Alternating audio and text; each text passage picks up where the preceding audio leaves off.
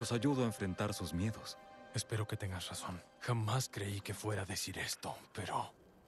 Fue un gusto conocerte, Tenso. Nunca creí que haría esto, pero... Gracias, Jin.